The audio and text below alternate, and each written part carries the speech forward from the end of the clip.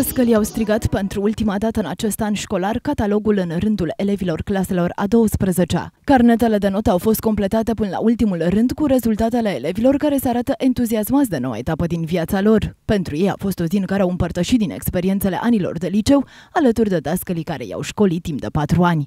În ciuda rezultatelor dezastroase din anii precedenți la examenul de bacalaureat, elevii claselor a 12-a de la liceul Lazare de la anul din Năvodar susțin că sunt pregătiți și tot ce mai au de făcut este să recapituleze ce au învățat până acum. În sfârșit am scăpat patru ani de liceu.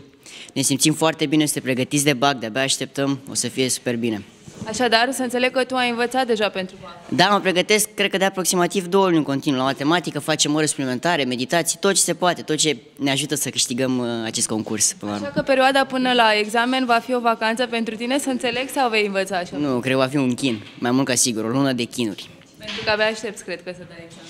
Da, sincer, de-abia aștept, am scăpat la facultate, viața studenție, știi și dumneavoastră probabil. De colegii tăi ți-ai luat rămas bun sau urmează? Uh, mi-am luat rămas bun și cred că o să fac un obicei din a lua rămas bun în fiecare săptămână, în weekend, cine știe. O să fie dor. Uh, tu te-ai pregătit pentru BAC sau uh, acum profiți în ultima lună? Nu, m-am pregătit foarte bine. La matematică mai am de lucrat. Și care e secretul? Să înveți constant sau atunci în ultim, pe ultima 100 de metri? Nu, e bine să iei câteva pauze ca să te relaxezi. Dar trebuie să înveți foarte bine, mult. Și în perioada asta până la examen ce ai să faci? Dacă zici că ai învățat. O să învăț în continuare. Sincer, sunt uh, foarte emoționată și îmi pare rău că se termină clasa 12 -a. Adică vroiam să o mai țină, dar asta este acum să vedem ce facem cu Bacu. Sperăm să-l luăm și să fie bine.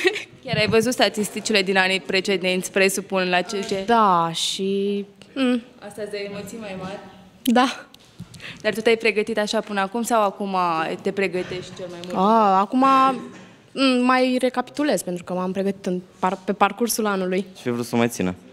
Te desparți așa cu greu de colegi? Da, foarte greu mă despart de ei. Și tu, uh, colegii tăi au spus că s-au pregătit. Tu Până acum te-ai pregătit? Ești pregătit de BAC? Da, sunt foarte pregătit.